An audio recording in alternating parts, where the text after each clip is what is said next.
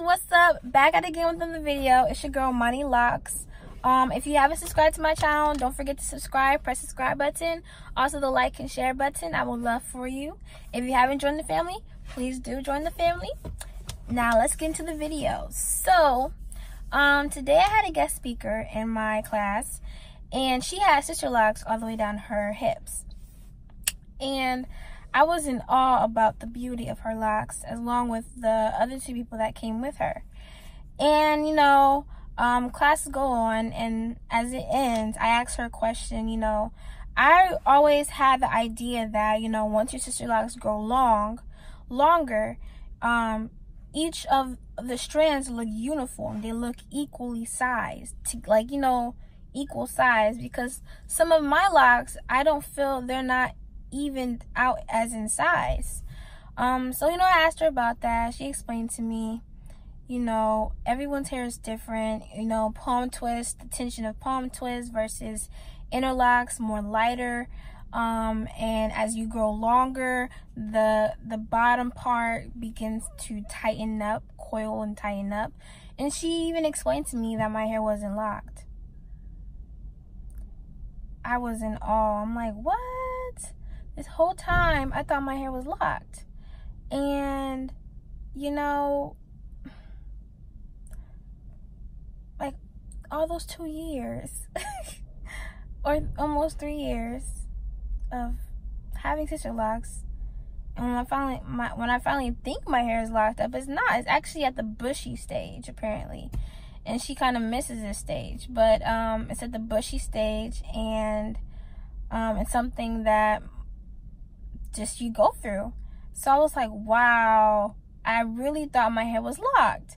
And um, I also learned that some people, you know, decipher this, but that you know the whole bunching towards the end of your locks that's that begins to like say it's like thin big hump of thickness and then thin i hope you guys know what i'm talking about here but like when you have like the big big things at the bottom, some people think you should pull it. And um, you should pull it so that way, you know, you can keep every, all your locks even.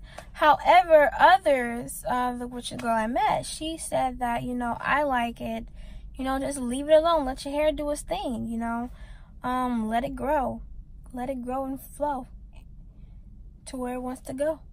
I'm being silly, but um no, she, you know, she was saying, you know, let your hair grow, let it do its thing without trying to redo its everything. But with sister locks, there's so many rules and regulations. Like, you only use certain sister lock shampoo, um, follow the grid, get, get it done by a sister loctician. If you want to do it yourself, take a class first, pay the money, take a class. Don't use any oils. Don't use certain, don't use conditioner. Don't, no, no, sorry. Don't use shampoo. No, no. Yeah, don't use conditioner, only shampoo, things like that. You know, I broke the rules after six months. After six months, I broke my own rules. I did tradition. I did um a temporary dye. After six months, I started to do my own interlocking from there from nine months on. Then I went back to a loctician to make sure my grid was in check because we know your girl needs to get in check. But um, you know, at the end of the day, it's your hair and it's your consequences of what you do to it or what you don't do to it. Like if you want to dye it, dye it. If you want to, you know, bleach it, just know that if you dye it in the beginning stages when you're a baby, uh, your hair is a baby, you have the risk of slippage, you have the risk of it coming out, you have the risk of breakage, dryness, all that good stuff. So you might want to break the rules later on in your journey after a year. But at, but you know, you just it just goes to show that you learn so much through um, having sister locks. It's it's like treating a baby, like holding a baby and seeing it grow. And every day it grows, you see the transition of, wow, you were just a bit little baby. Now, now look how what you how you turned out to be.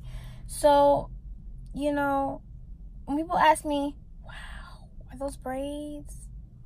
No, they're my beautiful sister locks. Thank you so much.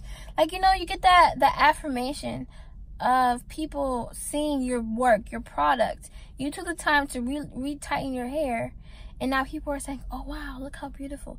Even if it's not retightened, they say, "Oh wow, look how beautiful." And he says, "Yes, thank you so much." Even in the baby stage, some people told me that I look like skinny little snakes.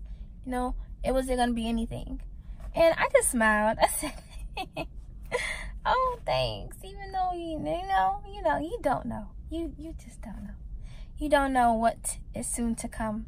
And that's the beautiful blessing about it. People will laugh, say, oh, your hair is too thin, you know, it looks nothing, it's not thick, I can still see your scalp.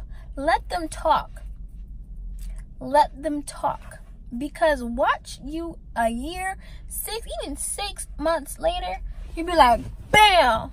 You'll be like Cardi B song, walking past the mirror, whoo, I'm fine let a girl know hammer time. So you don't be like, yes, I know, you see, but watch and learn. Watch and learn. That's the confidence you need to have when having sister locks because you gotta rock your hair any style. Some people will say, no, your hair is not allowed here. All right, then I'm gone because I'm not cutting my hair, not cutting my locks just to suit your needs of your eyes because you can't, you know, take my hair. But I'm rambling on. But at the end of the day, again, love your locks and you learn every day about your locks. Even people that are mature, they still learn about their locks, you know? You still learn about situations. I call my I call locks a lint brush because that's what it is. It collects lint. So you have to be careful what you wear, what you lay on, things like that because it will collect over time and then it will add up and add up and you'll start to see it. And then you'll be like i did not dye my hair white. Be careful be careful. So um just have it again.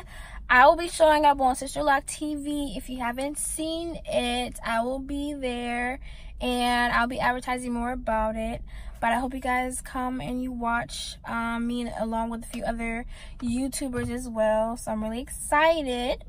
Um, again, I love your journey and be you. All right, guys. Bye.